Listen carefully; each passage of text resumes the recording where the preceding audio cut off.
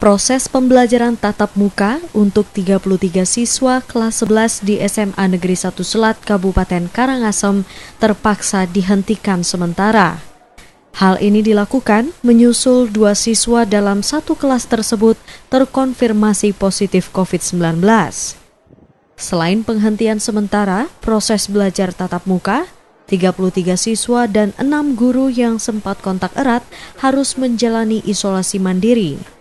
Siswa tersebut mengalami gejala sakit setelah pulang sekolah.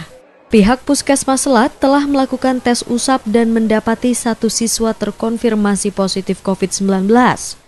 Untuk menindaklanjuti hal tersebut, terpaksa satu kelas proses PTM dihentikan sementara dan dilakukan secara daring.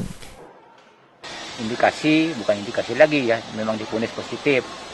Nah itu ada laporan dari Puskesmas, dari Pak Kapus, bahwa siswa kita terindikasi ada positif COVID-1. Hmm. Nah dari informasi itulah kami terima tanggal 28, ini tanggal betul tanggal 28.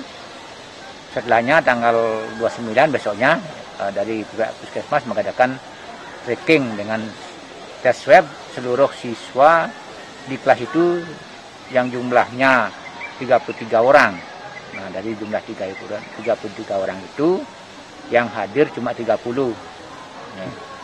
Nah kemudian dari hasil swab itu hanya satu yang ditemukan terindikasi positif. Nah atas kejadian itu, nah jadi kita dari pihak sekolah juga atas saran dari Pak Kapus, nah jadi selama lima hari mulai tanggal 29 itu anak-anak diberikan uh, tugas belajar di rumah BDR Sementara itu, Kepala Puskesmas Selat langsung melakukan tracking dan tes swab terhadap siswa dan guru yang kontak erat. Tes usap akan kembali dilakukan pihak Puskesmas pada Kamis mendatang. Uh, saat kami mendapatkan laporan dari Satgas Kabupaten terkait adanya kasus positif satu orang dan kami di hari yang sama juga melaksanakan tindak lanjut tracing di tempat uh, anak tersebut tinggal yaitu di Sari. Nah dari pengembangan tersebut ternyata anak ini uh, sekolah masih sekolah di SMA Satu Jelang. Jadi keesokan harinya berkoordinasi dengan kepala sekolah dan guru walinya kita mencari kontarat.